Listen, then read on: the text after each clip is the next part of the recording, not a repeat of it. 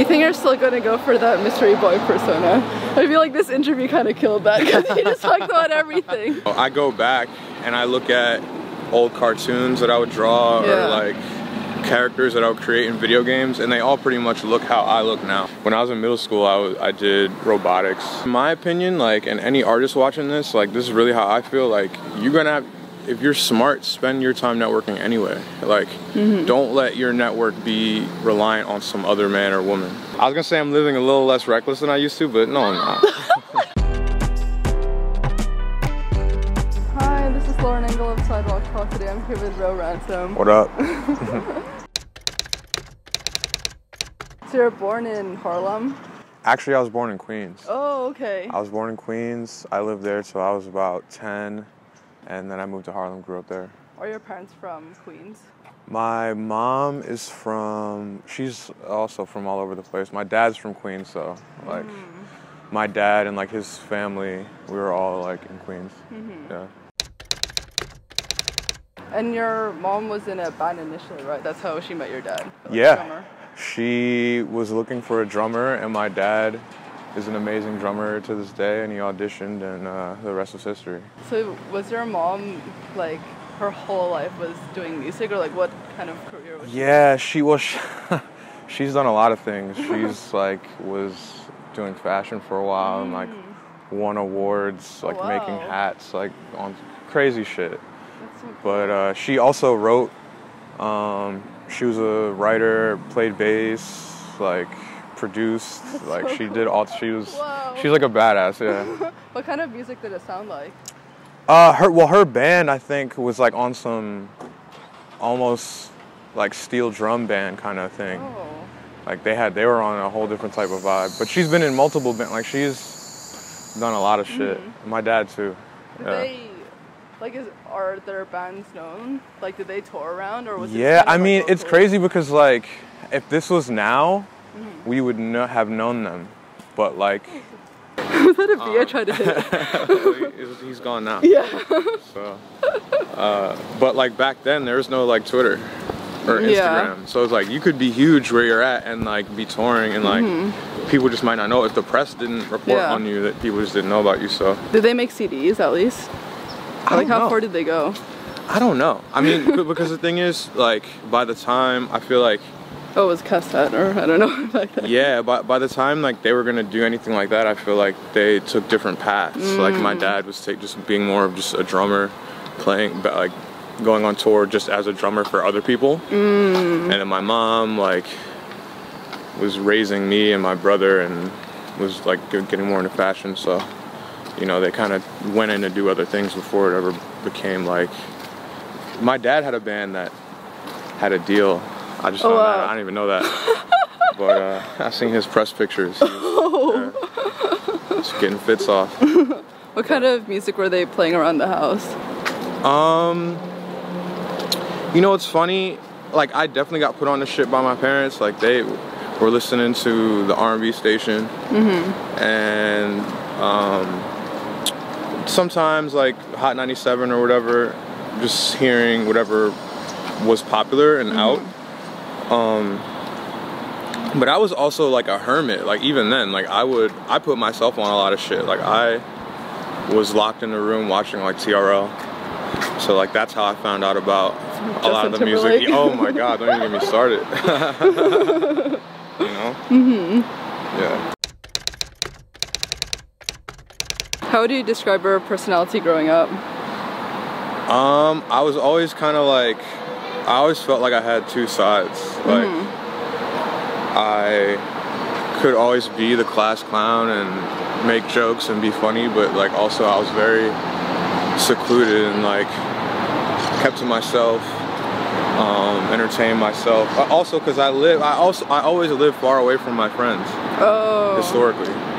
So I uh, was just like in my room, like I mean when I was super young, until I got like old enough to fucking be outside and shit.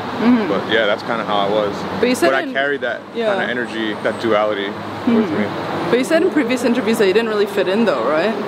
No, I uh, still don't feel like I do. Um, but you know, it was just one of those things where um, I was into shit that the kids around me weren't into.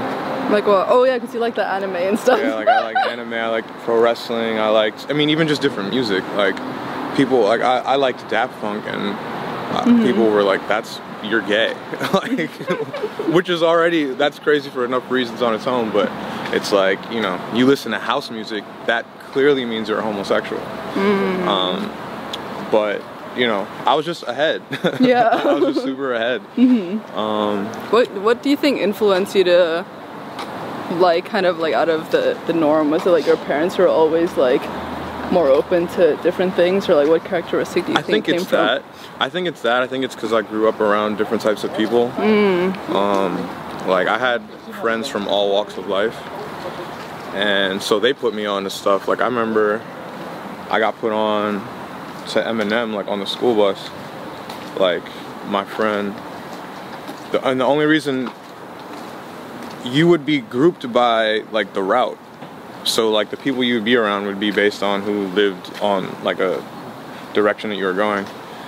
So I just happened to be with this kid, and he put me on to the rapper that made me like fall in love with music and uh, yeah. So it's just crazy shit like that. Like I really just would attribute it to kind of the multicultural aspect of New York City. And how about your fashion style itself? Right, you're already experimenting, like doing makeup, oh, like eyeliner back then. No, no, I wasn't on that You wave weren't? yet. Oh, No, I- okay. I, wasn't on that wave yet. I, uh, but you know what? I, I kind of was because, you know, I go back and I look at old cartoons that I would draw Yeah. or like characters that I would create in video games, and they all pretty much look how I look now. Oh, So even if I didn't look like that now, like I, it was in my head. You know, how I felt inside. Yeah. so your fashion inspiration back then was anime, or I well, guess I'm a lot now. of different things. Like, Yeah. um, yeah, definitely anime is still an inspiration. Mm-hmm. Um, pro wrestling, Jeff Hardy. Um, you know, and then also just growing up in Harlem, you know, you might walk around and see a, a pink camouflage do rag. So I carry that with me too. Mm-hmm. Um, yeah, so it comes from uh, a lot of, and it's also just my mood too, how I'm feeling that day. Aaliyah, huge, Mm-hmm. Yeah. uh, everything influence on me. So I'd say that's where my fashion influences Mm-hmm. come from. Did you always know that you were gonna be in music somewhere or another? Yeah, kind of. I mean, first I wanted to be a skateboarder. Oh, were you competitive?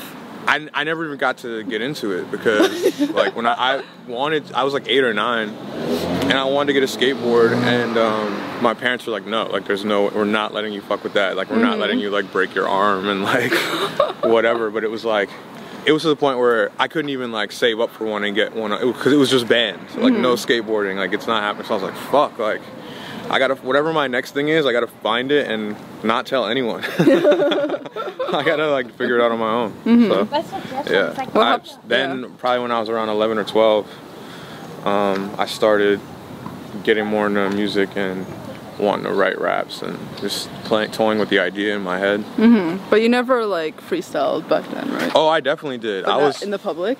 hell yeah. I was just talking to my boy, um, my boy Jonah. Shout out to Jonah. We were just talking about how crucial battle rapping was like in Mm. middle school and shit and like high school. Like that was like because if you couldn't play ball, Yeah. like you had to have something like you know what i mean like if you couldn't you had you had to have some type of or, or girls are looking at you crazy so I, anyone from my middle school or high school watching this will tell you i was undefeated i was cooking everybody Oh, everybody wow. yeah it was it was crucial Crucial. hearts were broken for sure What happened after high school? Uh i mean by the time i got to the end of high school that's when i by that time i started putting music out on the internet um i uh put out my first mixtape as Ro Ransom in 2012. Yeah. It's called Ransomnia, and uh, the- there and here we are now. you know, um, as soon as I got out of high school, I, I was um, working with my still my good friend Mike Wax, who is the creator of Ill Roots, and um, we were partnering together, working on different projects, and starting to build a fan base online that way, and uh, it's just been a steady incline ever since. Yeah. Did you have anyone mentor you when you were starting out? Like, did you know people who could connect you? Because your parents, like, they didn't really know anyone, right? It's like a different decade. I mean, it's funny because like my dad ended up still working in the industry in a certain aspect, and um, he had a ton of connections and still does. But Oh, I never okay. really went to him for that. And then also, too, my parents broke up, so like my dad was always and still is in my life, but like I wasn't around him every day. So like I, I, only saw him when I saw him like on weekends. So uh, there, I- but at that point, it was just like I was doing this shit on my own. So any mentors I did have, like I would consider like I have a friend named Max from Chicago, who I think he had like heard, he like heard my shit on MySpace and was like, I fuck with you, you're hard, like. Let me take you under my wing, like type shit, and uh, so I, I would consider him a mentor. But even to this day, like I have never really had anybody really guide me. Like it's I, I've always kind of been I don't know. Un, I don't want to say I'm uncoachable, but that spirit guide just hasn't shown up yet. Mm-hmm. You know. I hope I'm not like forgetting anybody who's like clearly been like a, you know, serious mentor for me. But um, yeah, it's a lot of it's been, and even the people that I work with, you know, whether it be a Mike Wax or my management or um, whoever, a distributor for this mixtape or that mixtape. It's like we're all, it's all partnerships where we're all just like in the field together. Yeah. So, um, yeah, who knows? How did you meet Kensei? We grew up together. Um, I don't even remember how we met anymore. Like I don't even think he knows. Like we just, as far back as I can remember, I've known him, and uh, he's from my neighborhood in Queens. Um, and he's like one of the first friends I had. Wow. Period. Yeah. So we've seen some shit together. So you put out your first mixtape in like 2012 Mm-hmm. by yourself. Was it already getting kind of recognition? Was it on MySpace? No, Or- actually, it was. Uh, I guess I would have put it out on DatPiff maybe. Oh, okay. was 2012, but yeah, I mean, it was. People still talk to me about that shit to this day. Wow. Um, That's seven years ago. yeah, I know. Um, people still talk to me. I was just talking to Jazz Cartier, FaceTime me yesterday Oh, playing it. No Literally way. last night, yeah. Wow. Um, so people hold it close to their hearts, and so do I. Mm-hmm. Um, but yeah, no, people people were people were fucking with it. I was very grateful for the response that we got with that project because it started everything. yeah. Everything started there. Were you working other jobs while juggling music initially? Uh, no, I probably by the time I got out of high school, like I went to college for a millisecond and What were you gonna study? English.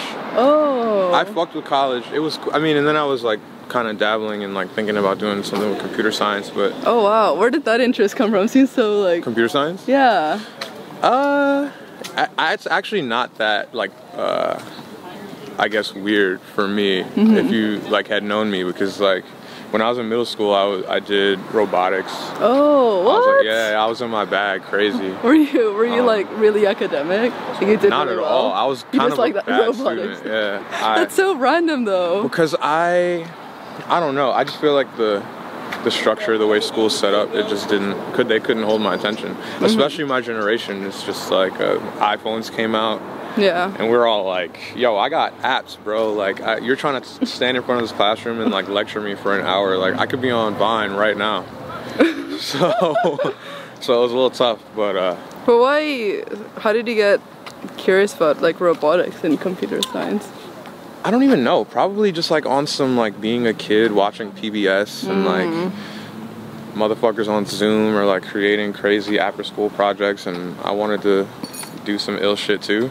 You know, and especially when you're that young, like I didn't know what I wanted to do or what I wanted to be. Like I didn't know. Yeah.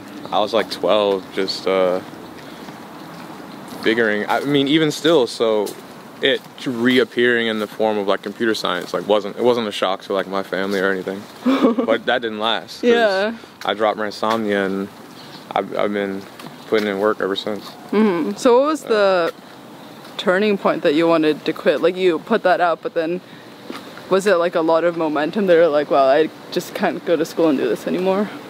Yeah, I mean, it also kind of felt like it also just felt like a lot of money is being spent, Mm-hmm. mine, my family's, and the government's on this, and I don't care. Yeah. Like I, I'm not present in this. Like it, it just it was like a guilt. I was like, this shit doesn't even feel right. Like I'm going and I know I don't care, and my heart is here right now. So why am I wasting everybody's time and money? And so, um, you know, maybe I'll go back. I always think about how Lil Wayne went to college, like in the height of his career. Yeah. and so, you know, maybe I'll go back. but your parents were fine with you doing music, right? Like you never had objections because they're musicians. Yeah, I mean they because they also know what it's like to have parents who don't get it.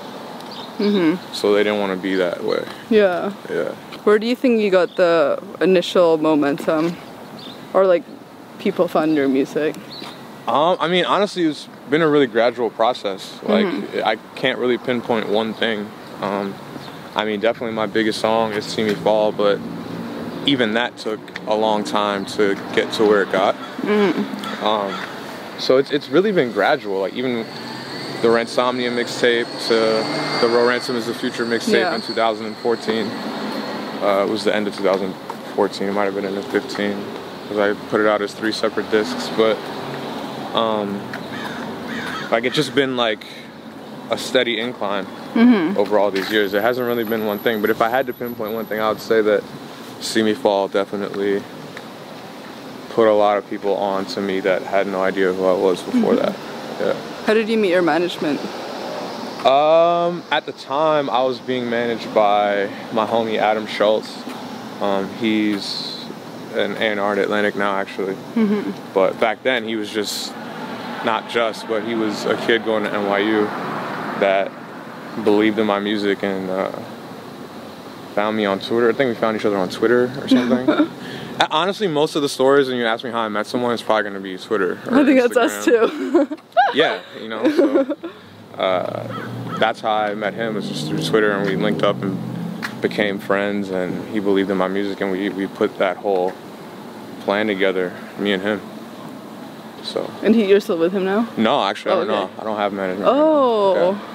What's that like? It's great. I feel Yeah? great. Yeah, yeah. I feel I feel free. Mm-hmm. Um, I feel I feel very autonomous Mm-hmm. and powerful, and I like feeling that way. Mm-hmm. Is it Yeah. difficult though? Because then you have to spend more time networking. Like I don't know if you're like a networking type person. But in my opinion, like, and any artist watching this, like, this is really how I feel. Like, you're gonna have, if you're smart, spend your time networking anyway. Like, mm-hmm. don't let your network be reliant on some other man or woman.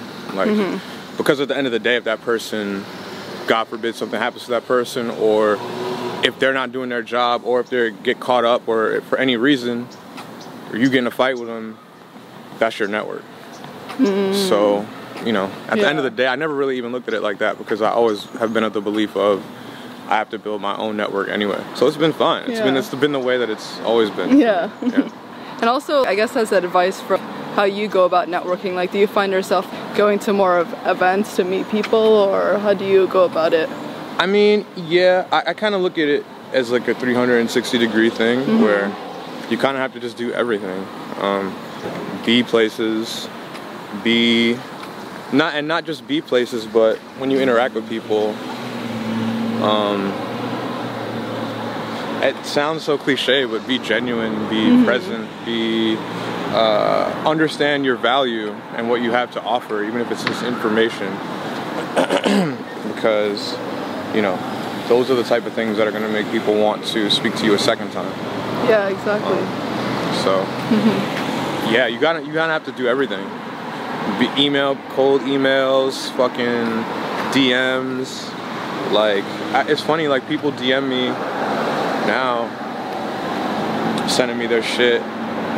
Even if I don't respond, they'll just keep sending it, keep sending it, and like Yeah. I, I fuck with that. Like you know what I mean? Like do whatever. Like I saw your interview with Emmy, Mm-hmm. and she was talking about how she uh, Yeah. just DM'd a bunch Yeah, of producers like her singing Exactly. and like uh, she found Rex Kudo that way. So it's like you know, you just have to do everything. You have to put yourself in a position where because you don't know what shot's gonna land.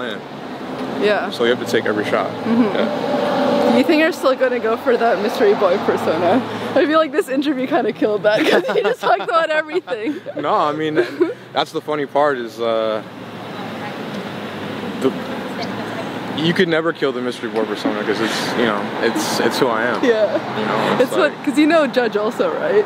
Yeah, yeah, yeah. yeah. He's also so mysterious. I'm like, out of everyone, I'm surprised that you guys are like wanting to do such a long form interview. Yeah, no, he- the most mysterious people I'm able to get. That's awesome. No, I, it's because I, I fuck with your channel. Like I saw I saw your shit with Emmy, I saw your shit with Dylan Brady, and I was like, Yeah. I fuck with this. Like, uh, there's, a, there's some interviews that I get asked to do, and I'm like, I'm cool. you know, you know how it is. Yeah. what are your inspirations for your music videos? Oh man, so many. I think you know. I think my generation kind of got spoiled with the kind of music videos we grew up watching.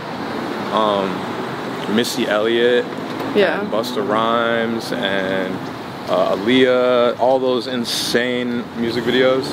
I mean, a lot of movies too, a lot of films. I uh, just recently started really getting into French films, which the names of I can't pronounce. Yeah. But Hard. um, you know, I, I really believe that videos are important and just art is important. Like I do all, I've been doing all my own artwork for my music for like the last three, four years. Mm-hmm. Um, because I just, I really care. So I definitely put a lot of thought and time into my music videos. That was crazy that you toured with Dua Lipa, but Yeah. were you?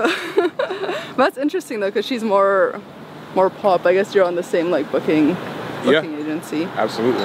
Yeah. Yeah. Do you think you're gonna go towards more of the pop side, or what is As it like? as it- touring? Or no, just like your music in general. Musically? I feel like you're able to balance both sides. Like, Yeah. I feel like not a lot of people would like fit Dua Lipa and also fit like rap.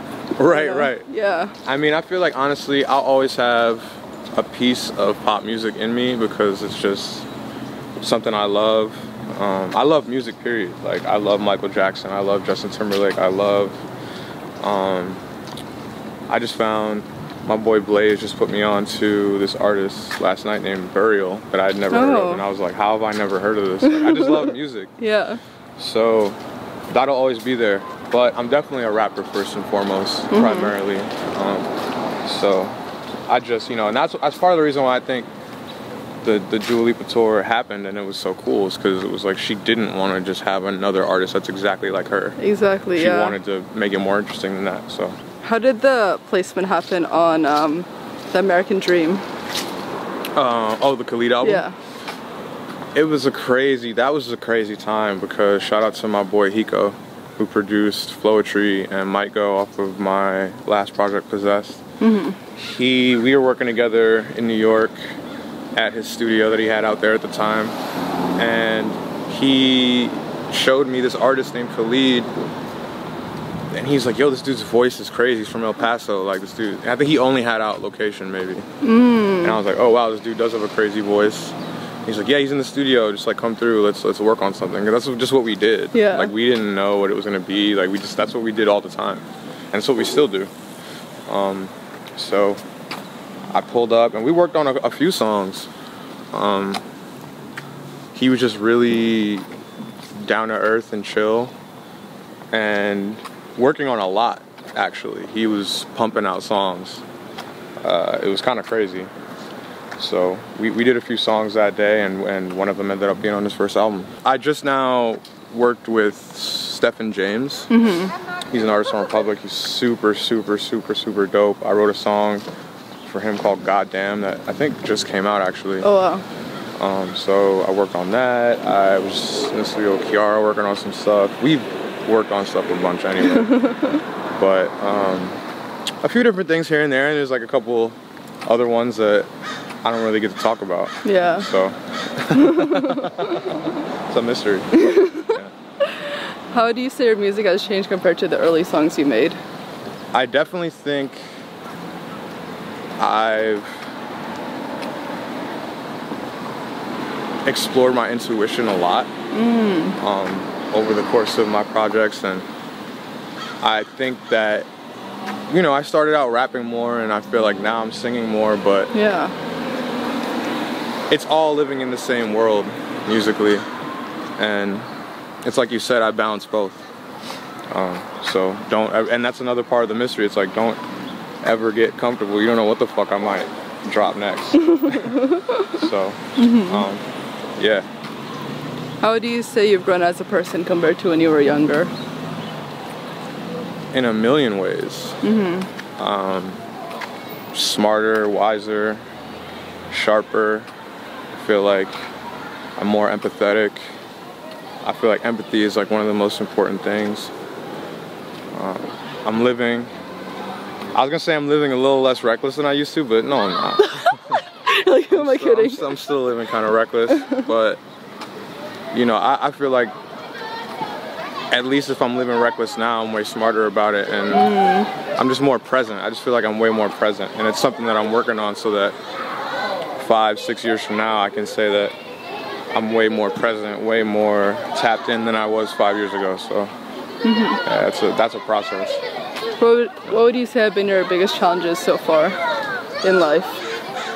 Biggest challenge in life? I mean, I kind of feel like anyone's biggest challenge in life is defeating themselves. I feel like anyone's biggest challenge in life is looking at their own demons in the face and looking at their own uh, shortcomings in the face and trying to overcome them. Because a- after that, you can treat the world better and treat everybody else better and, and just be better at your craft. And I feel like, so I don't think I'm any different than anybody else in that respect. I would say that my biggest challenge has probably been me. Mm-hmm. What's your advice on dealing with that? you really have to spend a lot of time with yourself. Like I, I'm big into meditation, mm. and I feel like people go through life without even trying to learn themselves, or they just go and just live Yeah. and just exist, and they don't ever stop to actually deeply analyze their own actions and thoughts, and it's kind of fucking dangerous because you know you don't know why you're fucked up or why you're fucking other people up or you're just kind of going on cruise control without it. So I think a really important thing is just to know yourself and work on knowing yourself uh, continually. mm-hmm. Yeah. What does love mean to you? I just heard the Future album. He said some shit like, lo- like love ain't shit. Like uh, love is just a word to me. That shit don't mean shit. So I don't know. Maybe it doesn't mean anything. um, love to me, I don't fucking know. I might be the wrong guy to ask because I haven't gotten it figured out yet. But you know, it to, it feels like when you actually care about somebody and want them to get better and be better. You like when you selflessly care about someone, mm-hmm. and you can separate your own intentions versus what's actually best for them and yourself. You know, a lot of people are attached to people selfishly, I don't think that's love. I think that's some like twisted kind of like putting on the venom suit. Yeah. it's like you're just trying to do some weird takeover of my soul. Like this isn't that's not love. So yeah, mm-hmm. I hope that was Yeah, I love a decent explanation. Last question. What do you Yeah. want to be remembered for? I want to be remembered for. I want to be remembered for a great catalog. I want people to know that I always put my best foot forward with every release that I put out. I, I want to be remembered for telling great stories, uh, affecting people's lives, um, changing people's worldviews. Like, I really just want people to be able to look at me and my mistakes and my successes and everything in between and just know that there's more out there for them. You know, like we talked about earlier. You asked me like, oh, if I was wearing makeup in middle school or if I was doing this or that, or and it was like, nah, I wasn't. But now, I'm free to be whoever the fuck I want to be, mm-hmm. and the same goes for any of my audience or anyone who sees me on a screen. I just want to be that espresso shot to steal a euphemism from Kanye that lets people be as free as they want and say, you know, fuck the system, dude. Mm-hmm. yes, this is so great. Thank you so much. Of course, of course, of course. Bye, guys.